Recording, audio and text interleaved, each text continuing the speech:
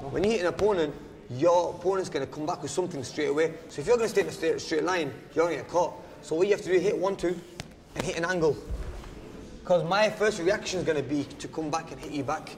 So if, if you're not there, then I'm going to miss you, yeah? So after a combination, you have to hit an angle, yeah? It's either that way, or say either that way, yeah? Right. One, two. That's it. Jab. Jab. Jab left hook. That's a good shot that for you. Jab left hook. And you know what you do with that? Yeah, push it through, push right through it, yeah? Oh, you see the power difference in that, yeah?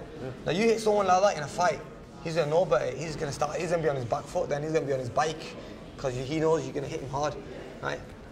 Unless you throw a right uppercut. Oh, that's a very good shot, man. That's a good shot. Throw a left hook after that. That's it. Duck under this one. That's it. Under. Jab. Duck under. That's it. Jab.